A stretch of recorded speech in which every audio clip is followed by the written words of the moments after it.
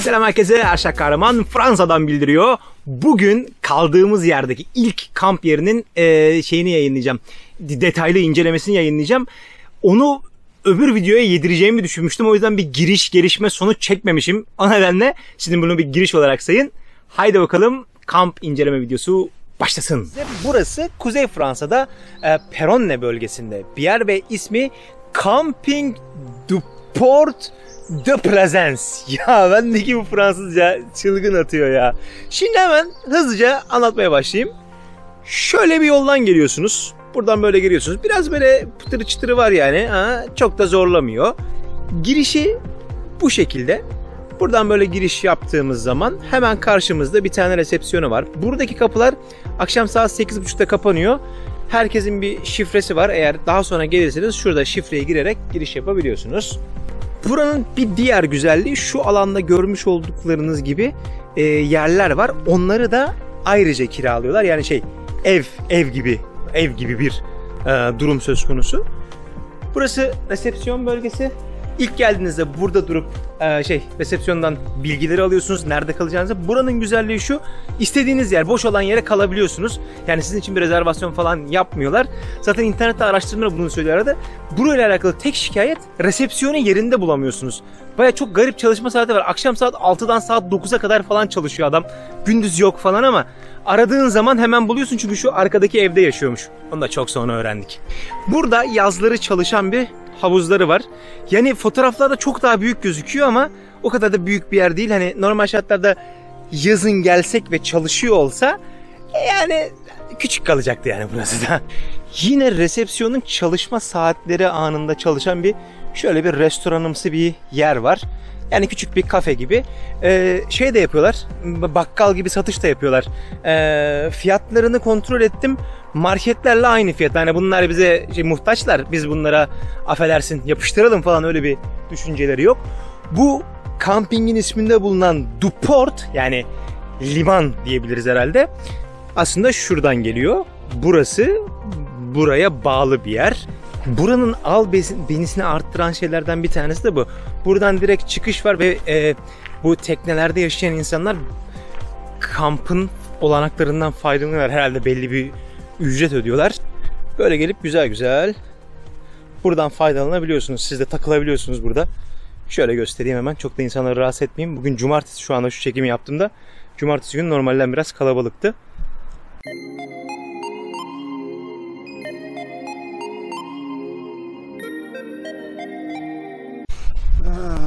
Know, Cathy, Yeah, uphill.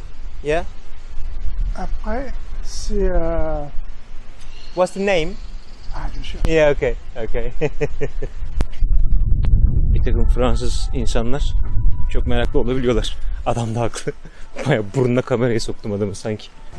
Şu arkamda karşıda mesela balık bir kardeş var. Siz de bilmiyorum lisansı kontrol edemiyorum. Lisans almanız gerekiyor mu gerekmiyor mu ama burada gelip balık yapıyorsunuz. Çocuk bayağı attığını tutuyordu bir araya geçen günlerden bir tanesinde. Yine bak kamp burası. Kampın önünden şöyle giden bir yol var. Aynı zamanda yolun karşısında da var böyle bir yer. Onları oradan e, yürüyüş yapabiliyorsunuz.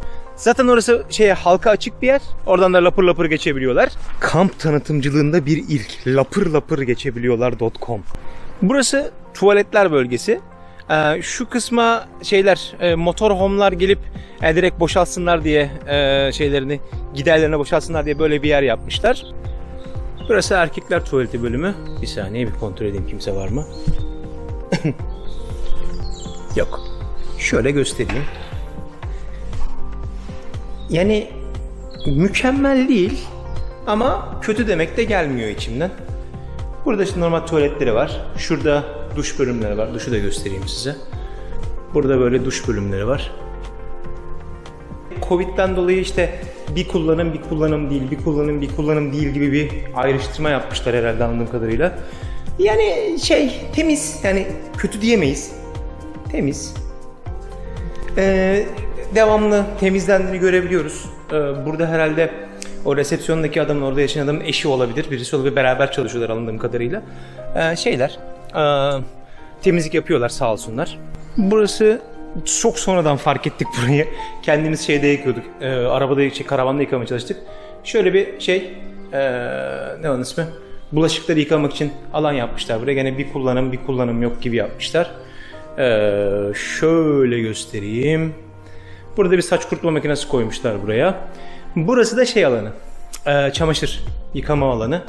Şöyle göstereyim. Bir çamaşır makinesi, bir saç kurut şey kurutucu. Saç kurutucu ne ya? Kurutma makinesi. Hemen fiyatlarından da bahsedeyim. 4.80 euro e, çamaşırın çamaşır yıkama. E, şeyde e, kurulamada 3 euro. Yani bir şey kirlettik. Kaça patlıyor bize derseniz 7.20'ye patlıyor. Şurada da kimyasal işte şey bizim kendi tuvaletlerimizi döktüğümüz bir yer var. Ben gerçi motorhome'larınkini kullanmıştım ama burası da öyle bir yer. E tabi kadınlar tuvaleti de ayrı yerde. Tabi oraya şimdi gösteremeyeceğim. Şuraya böyle bir sporumsu bir alan gibi yapmışlar. Yani hani yok dememek için yapmışlar herhalde. Bir tane işte masa tenisi masası. Burada bir tane voleybol e, filesi koymuşlar. Yine burada yalandan bir çocuk oyunu alanı. Yani yalandan diyorum çünkü yani işte bir tane ondan bir tane ondan işte bir tane de bundan koyalım da e, kataloğa koymak için yer olsun diye yapmışlar. Tabi bu bizim ilk kampımız olduğu için bilmiyorum yani oluru bu mu değil mi?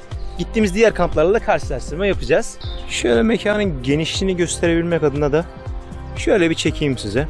Buralar hep e, karavan için müsait alanlar. Şöyle istediğiniz yeri seçebiliyorsunuz. Bence burayı güzel yapan şeylerden yani en önemlisi yani burayı seçerken de aa bak bu güzelmiş dediğim şey şu. Ya bu tarafında da bir kanal geçiyor. Bizim kaldığımız diğer tarafta da bir kanal geçiyor. Buranın sıkıntılı kısmı şu. E şurada bir beton santrali gibi bir şey var ve yani devamlı çalışıyorlar. Gece falan da böyle güm güm güm güm sesler geliyor. Yani öbür tarafı seçmemizin sebebi oydu. Şunlar çok enteresan. Şunu göstermem lazım. Bu artık buna tekne mi denir, kayık denmez tabii ki, gemi mi denir bilmiyorum da. Bu kanalda bayağı taşımacılık yapıyorlar bununla eski günlerdeki gibi.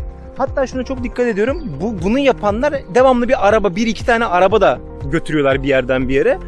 E tabi bilemiyorum nasıl yaptıklarını ama şey e, seyirlik olarak çok zevkli bir seyirlik. Her alan için böyle bir elektrik şeyi var, bağlantı noktası var. E, şu an tabii kimse olmadığı için hepsini kendin kullanabiliyorsun baktığında. Şöyle normal karavan girişini yapabileceğin elektrik bağlantısı var. Buranın bence değerini yani o, o, olan değerini düşüren bir tane şey var. Şöyle göstermeye çalışayım. Bak burada park etmiş yani konaklamıyorlar. Yani hiç insan girip çıkmıyor buraya. Bunları gördük. Yani birkaç tane böyle karavan var. Belli ki bir iki sezon önce falan bırakılmış buraya. Ha görüntüyü kirletiyor. Yoksa görüntüyü kirletmezse hani bir sıkıntı yok. Zaten sana zaten bir sıkıntısı olmuyor da. Yani görüntü kirliliği oluyor sadece. Biz buradayken mesela e, toplamda 5 tane araç geldi. 5 veya 6 tane araç geldi gitti. E, kaç gece? 4 gecede. Yani çok kalabalık değil off sezonda. O yüzden hani burayı biz kendimizinmiş gibi kullandık. Şurası bizim mekanımız. Genelde mesela gecelik gelenler bu alana orta noktaya park ettiler. Muhakkak bizim bilmediğimiz bir sebebi vardır bunun da. Tabii kimse olmadığı için bizim için de şu güzel oldu. Tam böyle şeyin yanına, çeşmenin yanına koyduk. Çünkü bizim taşıma suyla değirmen döndürdüğümüz için buradan gelip doldurup işte şey yapmak kolay oluyor. Zemin şey yani hep toprak zemin ama şeydi sertti. Yani öyle bir ne bileyim karavan battı çıktı falan filan bir şey olmadı. Bayağı da yağmur yağdı biz buradayken bu arada.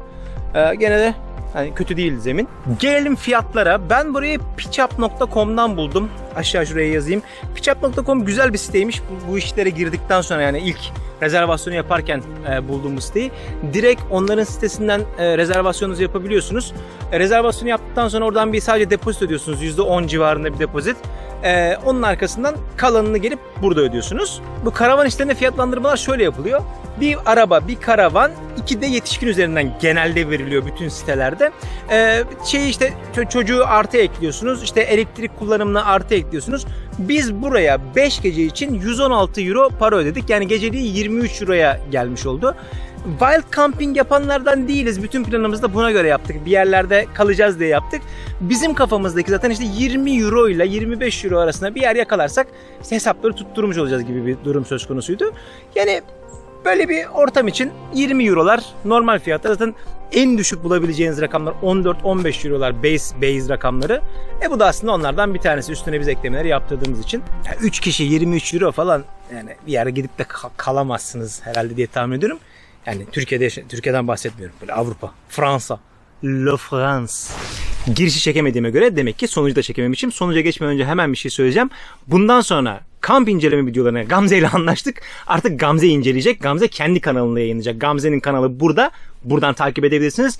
Ben böyle kamptan bir iki belki şey içeriye böyle ufak ufak şeyler atarım ama detaylı incelemeler artık Gamze'nin kanalında.